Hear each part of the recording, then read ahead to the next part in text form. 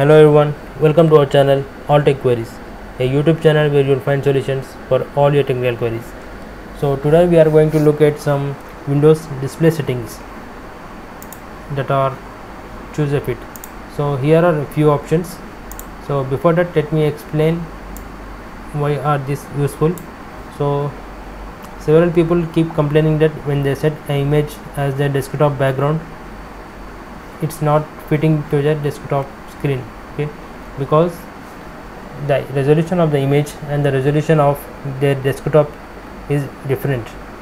So unless you are getting the same resolution image as your desktop resolution you are not going to get a proper fitting on your desktop screen. However there are some options here provided by, provided by windows by using which you can properly fit the image to your desktop resolution. So let me explain you so here is our logo. So I have created this logo. And see if when I set this as my wallpaper it was the fit was fill. Okay so this option was selected by default. So this is how my wallpaper used to look. Okay so I came here and I properly inspected every option from here to understand it so today I'm going to explain it to you. So what are each and every images and when it is useful to you. So okay let's start with fill. Okay this fill option will fill your desktop with the entire image. So whatever wallpaper you have selected it will fill your desktop with it okay let's see an example here. So here are some images of different resolutions. As you can see the dimension of every image is different I have downloaded this to show show you with an proper example. So let me set this as wallpaper. So as you can see the wallpaper is touch filling your desktop PC but because of the less resolution you you are seeing a pixelated image. So this is also a smaller resolution than my desktop.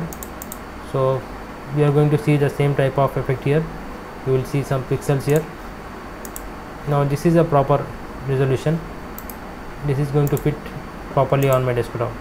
So you can see this image this wallpaper looks beautiful. So you can have a larger resolution image okay? Having a larger image is no problem. But having a smaller image will create a problem okay?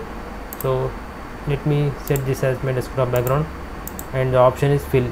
So it is filling my desktop. This wallpaper is completely filling my entire desktop. So because of high resolution I am seeing a better picture. So same as same for this uh, this wallpaper as well. See?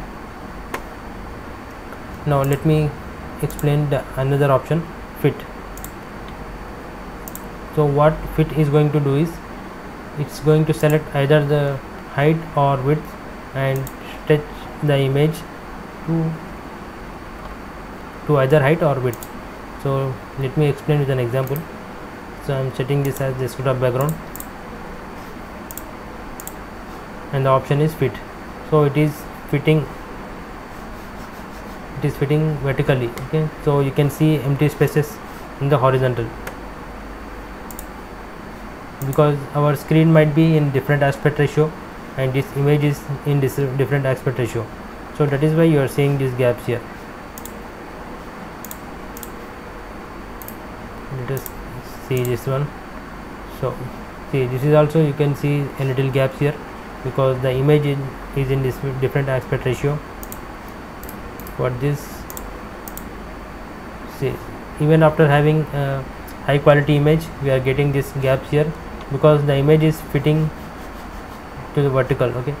Vertical if or if your image is more in horizontal it will show horizontally and you will see gaps in up and down. So this image is filling properly because it has the same aspect ratio as our desktop. So that is why you can see a full image here even if we selected the fit option. So let's go to the next option stretch so what happens is it's going to stretch the image from four sides to touch the corners of the screen. So let us see this image. See it is stretching the image. So if you have a different image like different aspect ratio image you will see stretch you will see a stretched image. So see it looks like it is stretched okay the horizontal is uh, the horizontal length is reduced to fill the desktop. So that is what stretch is. Now the next option is tile. So tile is useful if you have a smaller image. So if you have a larger image you won't see a difference. Let me show you the larger image first. So what it is going to do is it is going to cover this area. Okay from here. It is going to take the exact resolution of your screen and it is going to show that much image only. See you can see this much image here. So let's see another picture. This has some less resolution and till here you can see the image is cut. Yeah image is cropped. And if you choose different image like this is this is a smaller image. So let me show this one. See so it is going to cover your pc with this image by cutting it into pieces.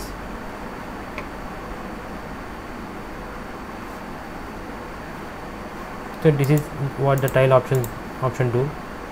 So the next option is center. So it is similar to the tile option but it is not going to arrange all tiles uh, instead it is going to show a single image and keep it in the center. See, this is an example. So when you select the center you will get choose your background option. So this option you will also get in the fit because when you choose the fit option you can see the empty spaces on both sides. And when you select the center you will see empty space on all sides. So windows allows you to choose a background color for this. So you can choose a background color like this. Whatever color you want. So in to accept the image. All the desktop background will be changed to this color. So this is useful when you choose a logo or something. So if you previously saw my all tech queries logo was there and I set it as center and I have selected the color white. Okay this is here is the color white. So that is how you are you were seeing the tech queries logo in the center with all white background. Okay so let's go to the next option span. Now okay uh, before that let me explain something more about the center option. So it is also going to work with these images but it will show the center. So before we have selected the tile option. When you selected the tile option it was showing from here to whatever resolution your desktop is. Now after selecting the center option it will show the center it will show the image from the center. Okay so this is what you are going to see on your desktop. See as i said. So now get to let's go to the span option.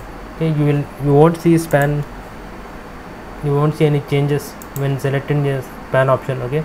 If you select this image and click on span you won't see much difference okay? It is it looks same as fill but it is not same. So when it is useful so it is useful when you have multiple monitor setup. So if you have two monitors and this is a large resolution image so what you can do is you can set up four or two or three how many monitors you want when you have such setup you should select the option span. So this image will be spanned to other monitors as well. Okay this entire image will be spread and you can see the single wallpaper on all your monitors. So that is how the span option works.